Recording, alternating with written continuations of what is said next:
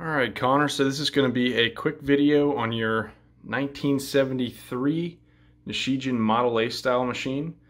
Um, this is obviously the front side. Fully restored playfield replacement and uh, tried to keep as much original as I possibly could with the stickers, the labels, and all that good stuff. So let's go around to the back side. And as you can see, everything looks nice and shiny and clean. Nothing like it did before I got to this one here. And um, everything is working exactly like it should. So just to give you a quick rundown on this machine here, uh, this is where you're going to put all of your balls. Um, this plug here that I wired into the machine, all you're going to need to do is plug that into the electrical outlet on the wall and your lights will function. Um, the leads just go right into the yellow and red terminals there. It doesn't matter which wire goes into which terminal. Basically, that's going to run your ball empty light up here and your jackpot light, which is right here in the center. The jackpot light here is going to be operated by this leaf switch, which basically tilts as the seesaw goes down. And I'm not going to force this here or I'll break something. And then your ball empty light here which if I were to plug this machine in right now,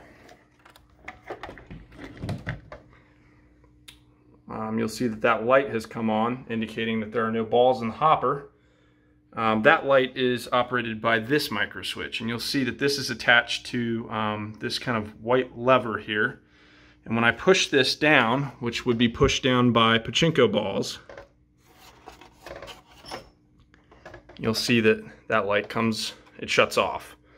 Um, you'll see that those contacts there are no longer um, hitting each other. All right, so basically what's going to happen here is your jackpot balls are going to be stacked up in this back hopper here. They're going to filter down this uh, tin channel here. And then there's this contraption that actually lets balls come into this bottom hopper.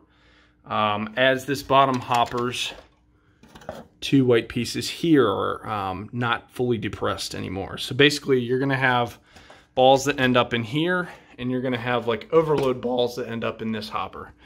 Um, I will show you how this works in the video, but um, balls will pay out out of this here and this tray here and this basically tilts as you get jackpots and it releases them down this channel out to the front of the machine and this particular machine is kind of cool has this attachment here that will actually give you your jackpot ball back and feed it through down to the bottom tray on the front of the machine. So I'm going to go ahead and film some video of the machine paying out some jackpots as well as how the back of the machine functions. So then as you'll see here, this ball empty light is on, which kind of looks like a little bit of honeycomb there. Just indicates that you don't have any balls here in the back hopper. We're gonna fix that here in just a second. Okay.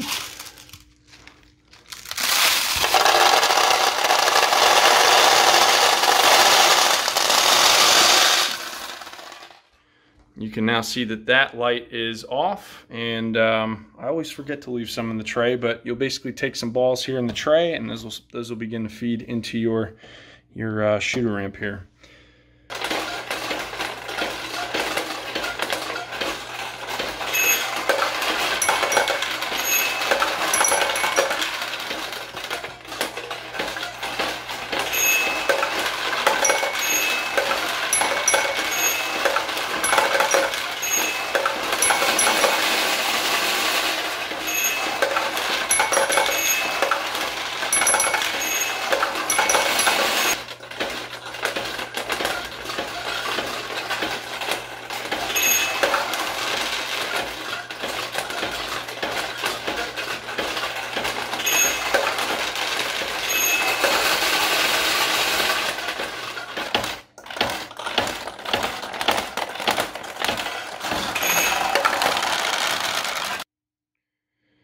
Right, so here I'm gonna quickly show you kind of how the jackpot balls feed down through this tin tray into this mechanism here.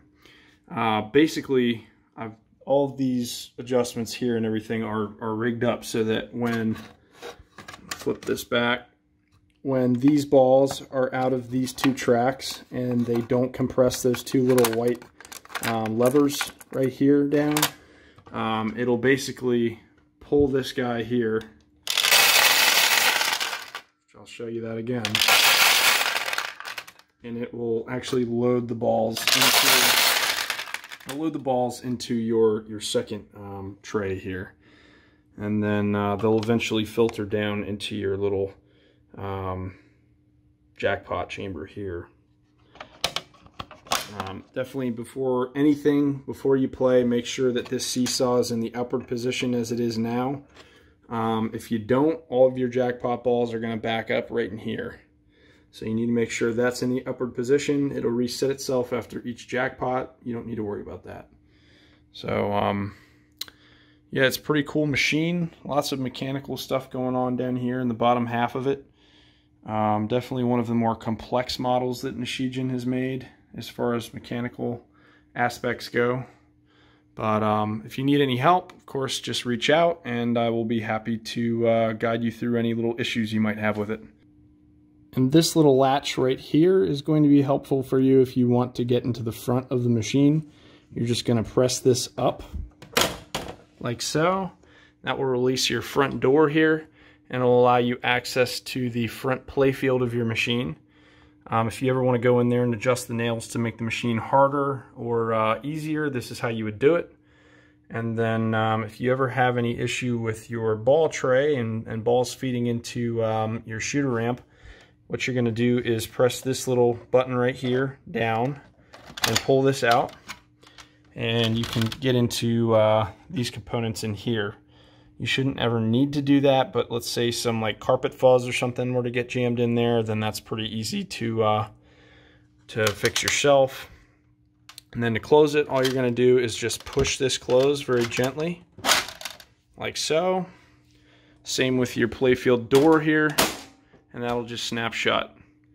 So that is your 1973 Nishijin Model A, and uh, thank you for uh, having a restoration done with me. Like I said, if you have any questions, please reach out.